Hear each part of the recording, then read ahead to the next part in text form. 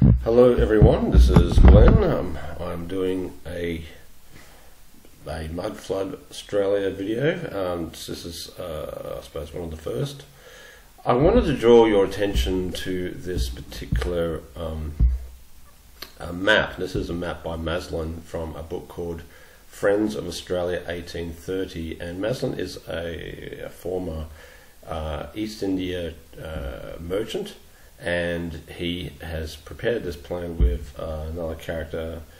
Uh, I can't remember the name, Sturt or someone. Um, but anyway, he's, he's, this map was drawn in about 1829, 1827, I think this was.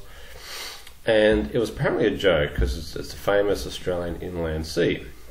Now we have lots of maps that are that you know people don't take seriously about you know land in the North Pole and possibly maps that uh, there as a ruse to, to get people to crash their ships in the wrong location and this kind of thing. Well, this one, this this map is based on a former um, French map, so it's got accurate coastlines.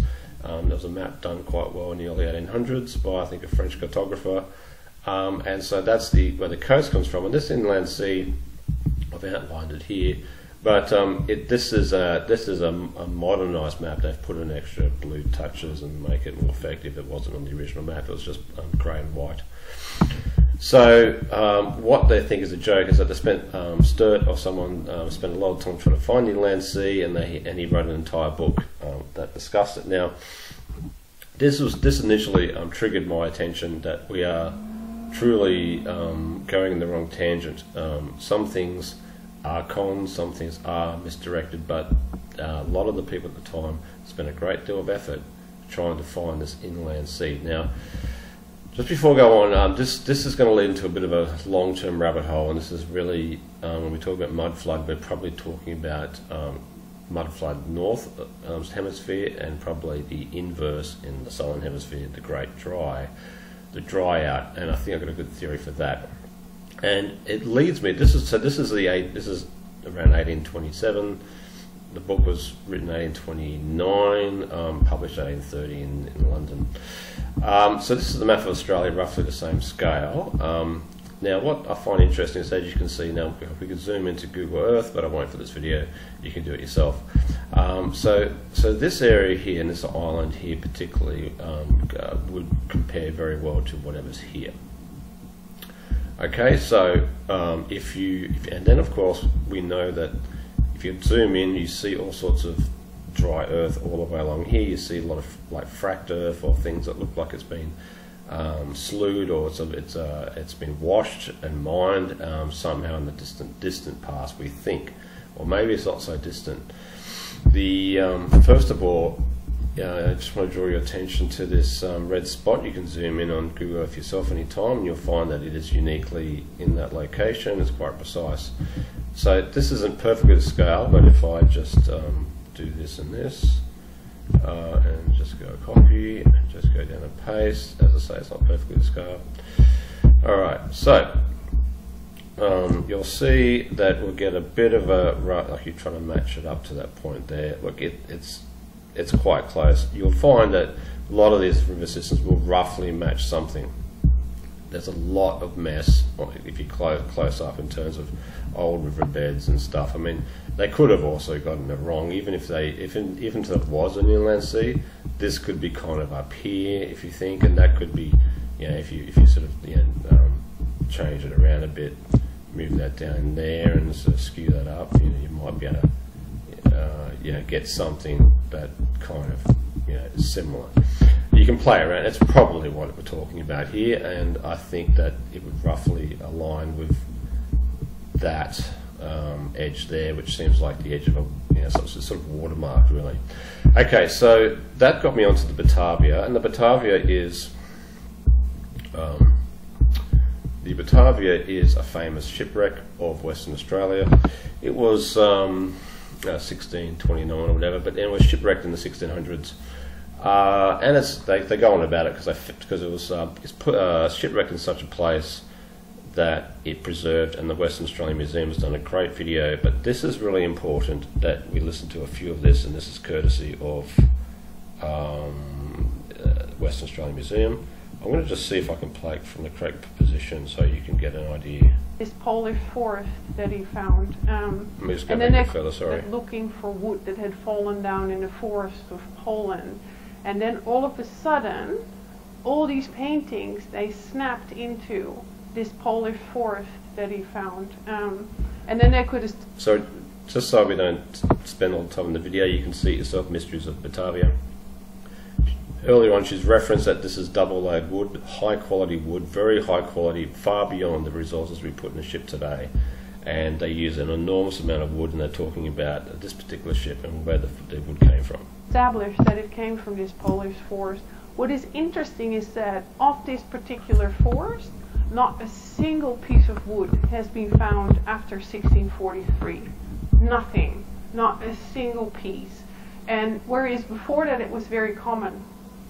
And art historians have been saying for the last 30 years that it must have been tied to shipbuilding and that the Dutch, but also other European nations, would have used so much of this really fine quality, nice oak for shipbuilding that by the time of 1643 there was nothing left, and it was all gone.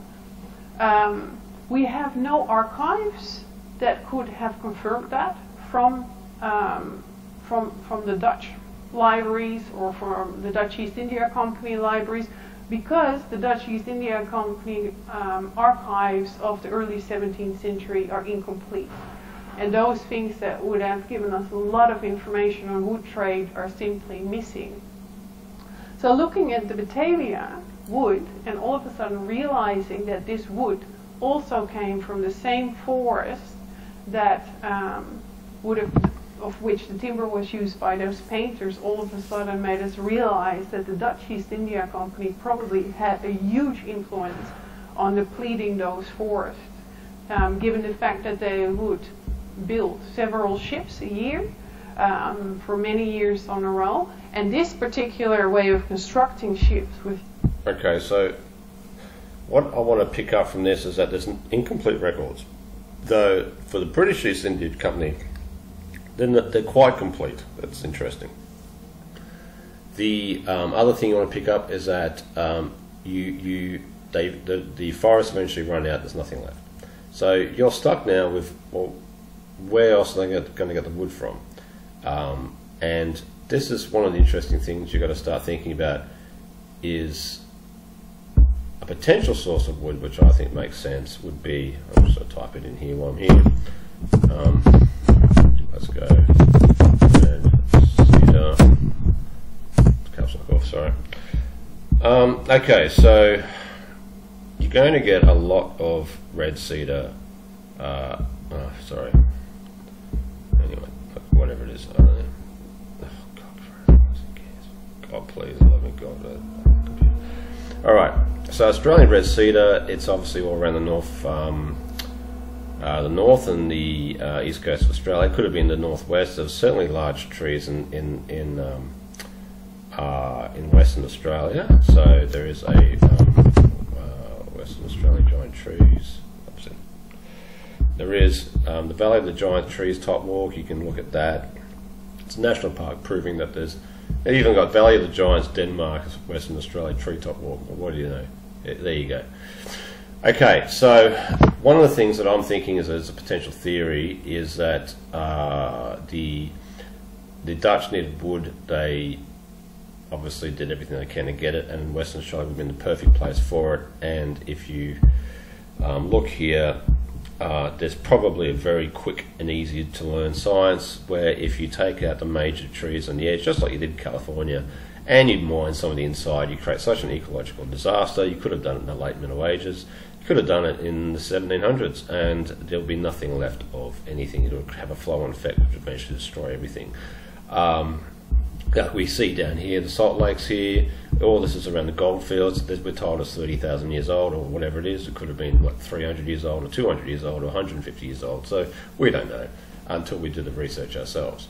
Okay, so going back to Maslen and his and um, this this guy that apparently was so he wrote a book that was so epic 481 pages, or you know, whatever it is. Actually, uh, I'm not sure what it is, but uh, okay. So it's it's called "Friends." A friend of Australia, plan for exploring the interior. He had visions of grandeur of how to how to um, organise cities. Amazing. You'll see references in this book about Indian traders. He refers to the Australian Aborigines as throwing spears as Indians and cannibals. He also refers to Indian traders. So this is strange because he's he's conflating. He says uh, he's obviously racist. He's a white Indian, I think. I'm not sure, but he's racist and he's and he's elitist. He's a, certainly a monarchist, and you can see it in his tone. Um, a lot of interesting things like um, a perpetual warfare exists between the Malays who visit the north and northwest coast of Australia and the uh, Maraegas, or savages of these coasts, who we are formed are generally an athletic, muscular race displaying a considerable share of courage and more cunning when firearms are out of view. And as they cannot discriminate between Europeans and Malays, it would be difficult. Okay, interesting. They can't discriminate between you. Okay. Well, um, Maraegas, uh, oh, I'll have to research that. It's probably more Negroid. Um, we do know that the DNA of northwestern Aborigines have a large percentage of Dravidian. And Dravidian, obviously, is a rich and ancient DNA source that includes Africa and southern India. So that's some interesting thoughts there. Um, so just want to bring that, to your attention. So there is a lot more in Australia we don't know. Australia does have uh, aspects that we could be looking at the wrong tree. We could be thinking, you know, um, some people think Huguenot, some people think uh, Starfort, some people think Tartaria.